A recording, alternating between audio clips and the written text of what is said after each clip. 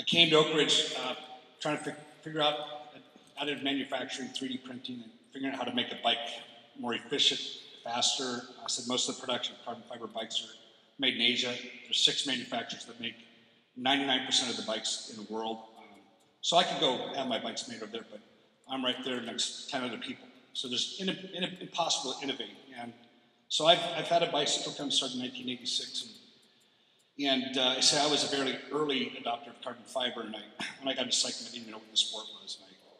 I, I was considered the most innovative cyclist ever in the sport, and I kind of smiled because I didn't innovate. I just opened my mind to ideas, and everybody in that sport was so closed-minded. So great opportunities came by people every day, but they shut it. They, they said, no, they're too conservative, don't want to take the risk. And, and I, I, a lot of the stuff that I was able to come across, I said Oakley glasses, I did help Giro helmets, but carbon fiber disc wheels and the carbon fiber uh, bicycle. Now that, there's somebody in cycling, sometime in the early 80s, we heard about a carbon fiber bike being used in a race somewhere. Total failure, collapsed, guy broke his face up, so that scared everybody away.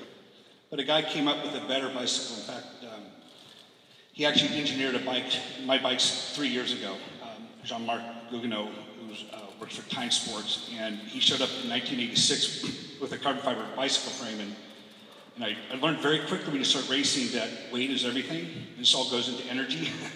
Lightweighting of cars, every, and it is, it's all the same. Physiology, exercise, how much energy you uses. The same in, in exercise, humans, as, as it is in mechanical uh, goods.